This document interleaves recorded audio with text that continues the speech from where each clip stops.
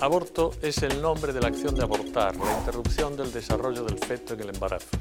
Este sustantivo puede resultar ambiguo cuando se trata de distinguir entre las interrupciones espontáneas de la gestación y las provocadas intencionadamente, por lo que requiere adjetivos que le den precisión.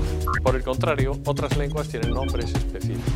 Así, por ejemplo, el inglés miscarriage da nombre a la expulsión espontánea del fruto de la concepción antes de que sea viable, y abortion es el de la intencional.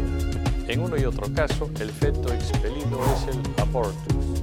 Aborto procede del latín abortus, que se deriva a su vez de abolir, perecer, abortar. En el español aparece en el siglo XV, aunque siempre hubo palabras para designar la interrupción del embarazo. Entre las ya en desuso cabe mencionar abortadura, aborso, movedura y movición. Aún se emplean abortamiento, malparto descarrilamiento esta de uso coloquial. Y para el feto malogrado puede emplearse muerto. Cuando se trata de animales, en algunas regiones se emplean abortón y albortón.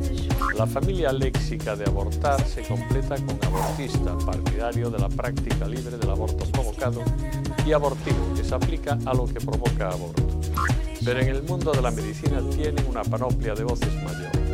Así, el abortista es también el abortador y lo abortivo abortificante y abortífico. Y en cuanto a los tipos principales de aborto, el espontáneo es el indirecto o natural y el provocado el aborto artificial, directo, electivo, inducido, intencionado, provocado, con sus variantes selectivo y terapéutico. Buenas noches.